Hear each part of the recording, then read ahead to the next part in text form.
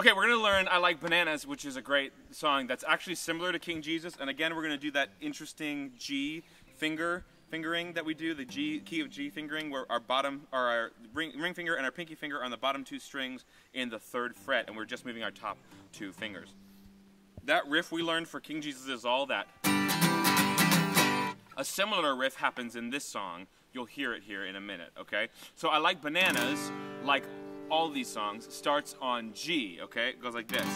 I like bananas, I know that mangoes are sweet, I like, we're gonna go to the sea, papayas, papayas, but nothing can beat that sweet G, D, G.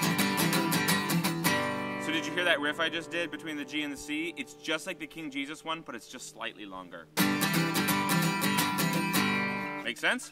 So, the first part of the song sounds like this. I like bananas, I know that mangoes are sweet, I like papayas, nothing can beat that sweet love of God.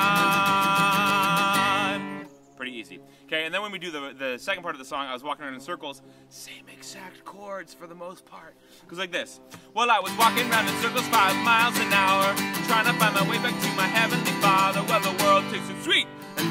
sour, and then that's the only difference is when we go from G to D, we're going back to the C. Then I asked him in and received his power. One, two, three, I like bananas, and we're back to that. Pretty simple song, and have fun with it. You can jump in with uh, walking around in circles in the middle of team comp scores and just do whatever you want.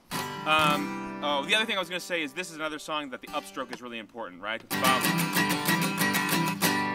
So uh, enjoy that song. That's how that one goes.